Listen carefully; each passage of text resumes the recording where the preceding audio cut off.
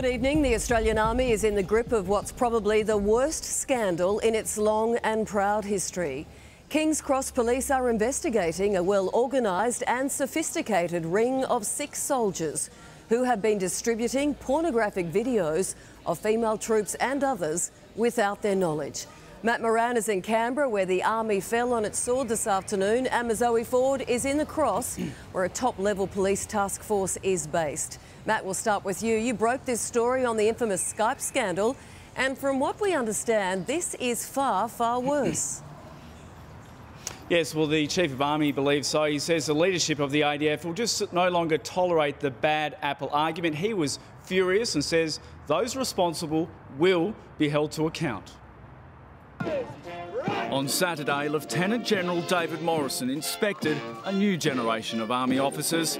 Today, he was disgusted by the actions of an older one. The imagery, as is the text, is explicit, derogatory, uh, demeaning, and is repugnant to me. Three ADF members have been suspended from duty after the alleged misuse of defence computers to exchange emails and other material degrading to females. These behaviours are symptoms of a systemic problem and we will continue to address them. General Morrison also said illicit drugs may be involved. I'm advised that these three may also be persons of interest to the New South Wales Police and of the possibility that civil charges may be laid against them. Defence is also investigating a large number of other ADF members implicated in the scandal. I have also been advised that a further 90 or so other Defence personnel overwhelmingly Army personnel,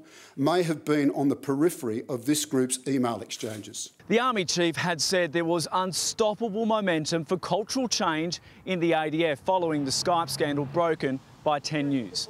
But that has been derailed by a group of senior officers, including a lieutenant colonel and other senior non commissioned officers who should have known much better. I'd say it's worse than the Skype matter. The investigation will continue for months. Now, Defence Minister Stephen Smith spoke, a short time ago in Perth. He says the incident is a failure of defence culture. Matt Moran there with more on today's bombshell developments in the Australian Defence Force. Well, Mazoe Ford is at King's Cross Police Station for us tonight. And Mazoe, what are detectives saying?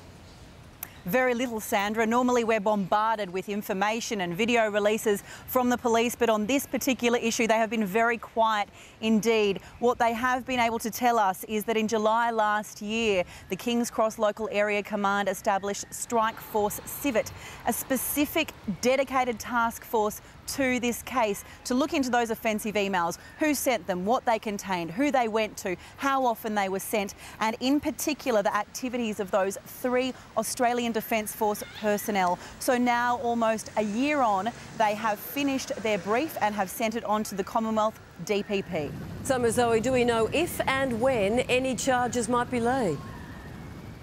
No, Sandra, that's anybody's guess, but you'd have to uh, have to expect that after a year-long investigation by a team of specialist detectives that there will be quite a bit of material for the Commonwealth DPP to go through now. Just in the past few minutes, I have received a statement on email from them. They have said that the CDPP is assessing the matters referred to by the New South Wales Police in accordance with the prosecution policy of the Commonwealth, and we will wait to hear how long that investigation will take. Mazoe Ford, thank you.